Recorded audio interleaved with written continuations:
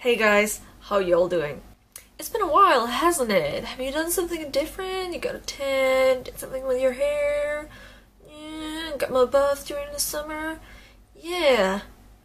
Today's video is going to be a review of these guys. Can you tell? Oh, they're so fancy.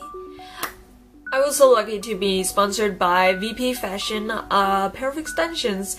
VP Fashion, or Valentine's Promise Fashion, is a website where you can find loads of loads of extensions. I was so lucky to be sponsored the 18 inch with 160 grams of hair, which is a lot, but as you may notice, I have a lot of hair on my head, so I need a lot extra to get that voluminous look that I like so much. I got the extensions in the lightest color that you can get, obviously because I had to dye them to fit my own hair, and for this time around I had this little project in mind, a blue to pink ombre.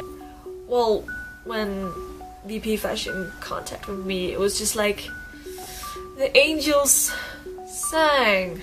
Even after dyeing these extensions, I had to do a round of two batches just because I wanted the color clearer than it came out the first time and the finished result is this and they're still so soft.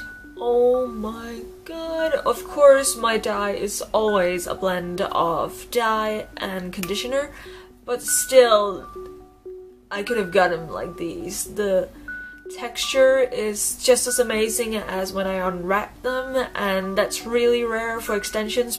Oh my god, so articulated. Come, you just know all the right words to say. So yeah, all in all, I really recommend these extensions. They are in the more pricey end of extensions that I've been using before, but the product that I get is totally worth it.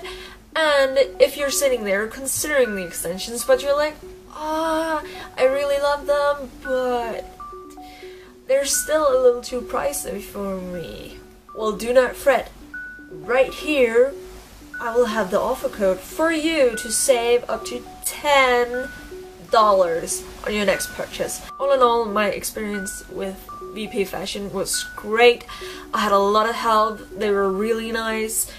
All our email correspondence were filled with hearts, and it was just a gay old time talking to them. So I really recommend this company. I think they have a lot, a lot to give us girls that need that extra bit of length. As you can probably tell, I ran out of stuff to say and didn't run out of stuff to show you. So yeah, a lot of people have been asking how I put in my extensions, and even though I have a really old video of this, I decided I might as well include it in this review as well. Also because the extensions aren't put in or installed the same way that I do it regularly, so that's always fun to show. I guess. Not really, because I don't know, I get really slow when I have to film stuff, so what takes me usually 5 minutes takes me 15. But yeah, pretty much. Looks good, don't it? Yeah.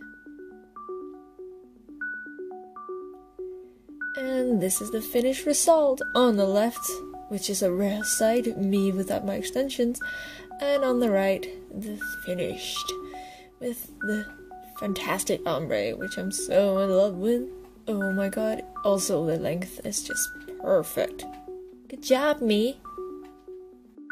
So, yeah, that's pretty much it. If you'd like to see more of this face, you can follow me on Facebook, Instagram, and Tumblr. So that was the video for this time around. I hope you enjoyed it, and until next time, stay you can follow me on. Oh. oh. Should we make you a script? I have one right here. I can read it. I'm trying. It needs to come natural. Oh. Oh, natural. It doesn't though. Hmm. Thank you.